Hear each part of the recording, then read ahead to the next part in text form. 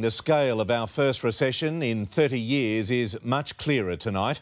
Alarming new figures just out showing how much we've all stopped shopping, with retail sales collapsing in April. Scott Morrison is hoping Australia will build its way out of recession brick by brick through $25,000 grants. But some think the tradie led recovery doesn't quite hit the nail on the head.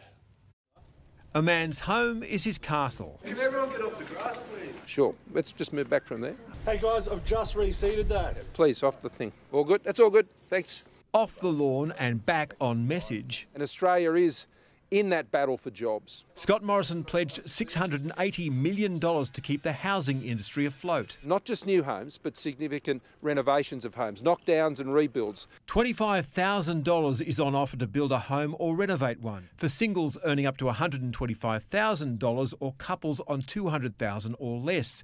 The new home price cap is $750,000 and the price range for renovations is from $150,000 to $750,000 on a home worth up to $1.5 million.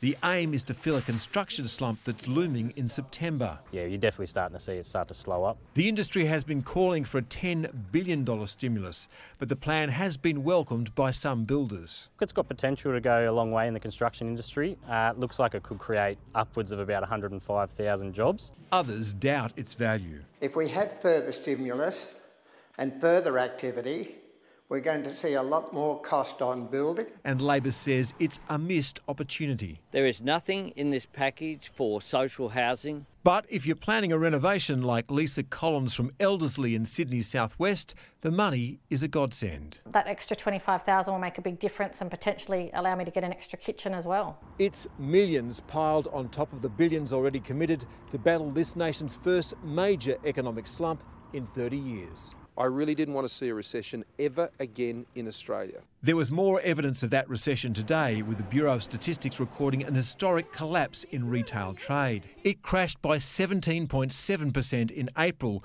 with record falls in cafes, restaurants, and takeaway food down more than 35%, and a 53.6% slump in clothing, footwear, and personal accessory retailing. We're making our way back.